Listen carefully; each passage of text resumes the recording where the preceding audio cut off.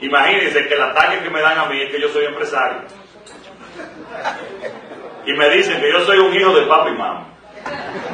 Con la diferencia de que yo fui a la política por pasión y por ilusión, y ellos fueron por necesidad.